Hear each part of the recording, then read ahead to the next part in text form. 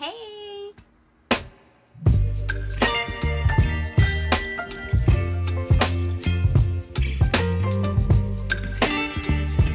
Hey, welcome back to my channel.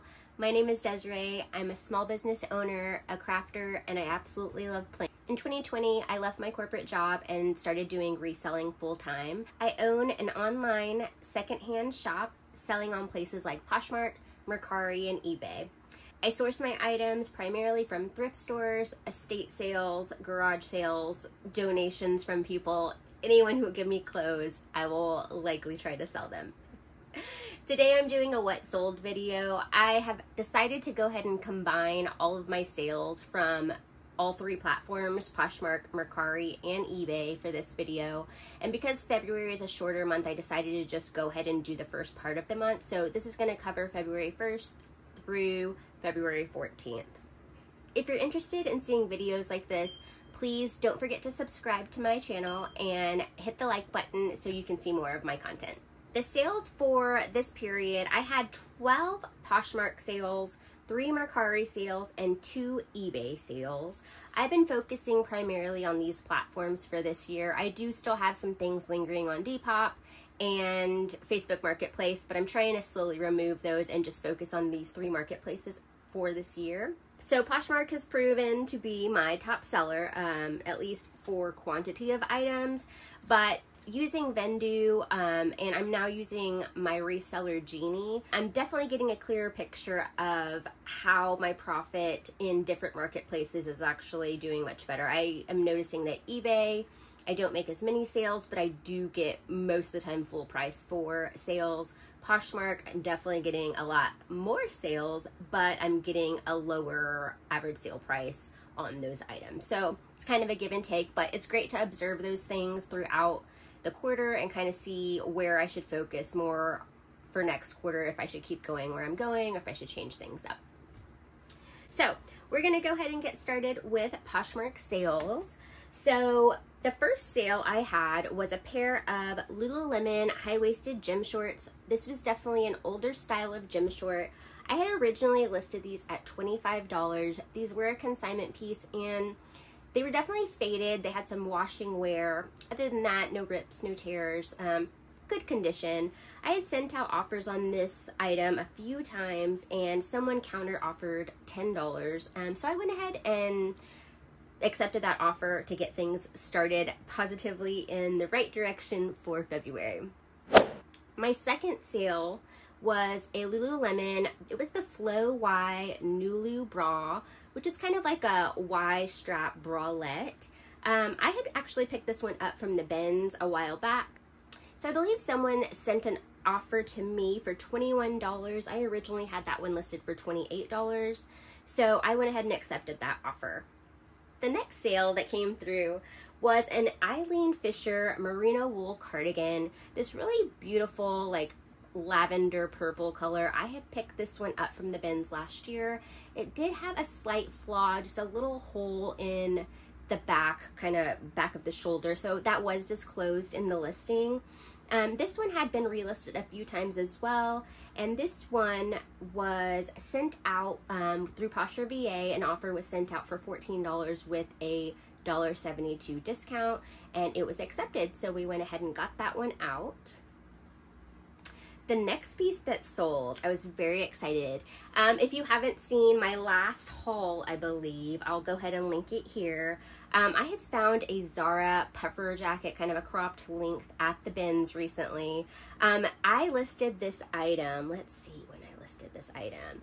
I believe it was February 1st that I listed this item and it sold on February 9th. Listed it for $65, definitely was on the high end, um, and someone offered me $50 and I gladly accepted that offer. So really exciting sale for that. I really liked that jacket. I had tried it on and like really thought about maybe keeping it, but I'm glad it got a new home. I'm glad I saved it from a landfill. Um, so happy and smiles all around for that one. The next sale was a chambray, like a pinstripe tunic. It was by the brand Soft Surroundings. I do try to pick up Soft Surroundings when I see it. I feel like there is a pretty good following for that brand. Um, this was just kind of your basic v-neck. I had originally listed that one for $30 and someone had liked it and received an offer through my PosherVA for $22 with a $1.72 discount. And they went ahead and accepted that. So I got that one out. The next piece that sold was also in my last thrift haul. Um, this was a Columbia zip-up fleece sweater, gray with this kind of fuchsia hot pink detail on the zippers, size 3XL. Um, this one I had listed for $25. So this one I had also listed on February 1st and um, an offer was sent out for through my posture VA and on February 10th it was sold for $18 with a $1.72 discount. The next piece it sold was a Free People blue striped floral dress, definitely like your bodycon style. This I had received from a flip lot last year. I had bought the lot out so it became my item. Um, it had recently been relisted through um, and it sold for $27. The next piece that sold was a Halogen 100% cashmere crewneck sweater, just a basic black piece. I had picked this one up from the bins as well, I believe last month. Um, and this one sold for $27 with a $1.72 discount. The next piece that sold was um, by the brand Lucy. It was an athletic racer back tank, really lightweight and very gently worn, size large. That one I received an offer for $11 for that top and I went ahead and accepted that offer. The next order that came through was a 41 Hawthorn long sleeve, just a basic kind of green blouse top size extra large. I received an offer for this one for nine dollars. I originally had this listed at twenty dollars. This was a consignment piece that i had taken on for a client. It did have some wear inside kind of some uh, just a little like marking in like the armpit area. So that was disclosed in my listing. I received an offer for nine dollars and i went ahead and accepted that offer the next item that sold was another athletic wear piece. This was by the brand Zella, high-waisted black legging, large. Um, these I had had for a little while, um, and they had an offer sent to them through PosherVA for $12 with a $1.72 discount. That was accepted, so we went ahead and moved that one out quickly. The next piece that sold was a really cute denim um, mini skirt with some red embroidered flowers. Um, it was by Fashion Nova, kind of more of a fast fashion brand. I had found these at the bins um, and paid probably around the 75 cent mark for this. Um, and someone did send me an offer for $8 and I went ahead and accepted that. That still left me with a profit of $5.05. So I was happy about that sale and happy to move it out as well. So that was it for my Poshmark sales. Um, let's go ahead and look at Mercari and see how those sales went. Okay, so I had sold three items on Mercari. Mercari is typically a little slower for me. I cross post everything that I do from Poshmark onto eBay and to Mercari, so it has a fair chance, but for some reason things just move a little slower for me. So I did get three sales throughout the last two weeks, which I am totally stoked about. Um, the first item was a pair of black wide leg cropped overalls by Duluth Trading Co. I found these at the bins last year and probably paid around a dollar for them. Um, they had been listed in the $50 range and they had a lot of likes. Um, I believe on Mercari alone I had 15 likes. I had a lot of likes on Poshmark as well, but offers were never really being accepted. Someone offered me $36 for these on Mercari, and I went ahead and accepted that offer. The next piece was also another piece that was in my last thrift haul. It was the Soma, uh, it's the Sensuous Lace Sheer Bra. Um, it was teal, had this really beautiful embroidery and some beading on it. Um, I had listed that item on February 1st as well, and and it sold on February 8th. I had listed this for $35 and someone had offered me $28 on Mercari and I went ahead and accepted that offer. The last order that came in through Mercari, this was a girl's size 10 item. It was by the brand American Girl. Um, the Floral Truly Me Meet sleeveless dress. Um, I had picked this up at the bins last year as well. I had it listed at $25 and someone offered me $20 for this dress and I accepted. And lastly, we're going to go over the eBay sales. So I had two eBay sales over the past two weeks. As I mentioned, I cross-list everything using Vendoo. So I do all my delisting and relisting as well as cross-posting to all three marketplaces through Vendoo. I use Vendoo to actually create my listing and then shoot it out from there.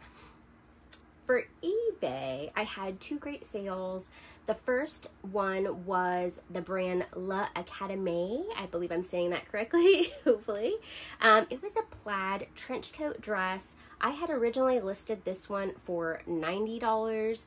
Um, it was new with tag, but it was missing the waist belt portion of that. Someone offered me $70 for that one on eBay, and I went ahead and accepted that offer. And then the next piece was these Good American Standout Square Toe Block Heel. They were from a liquidation box I believe I received from San Diego Resale last year. So they were in great condition, just had some slight wear on the bottom of the heel, which I was able to clean up really nicely.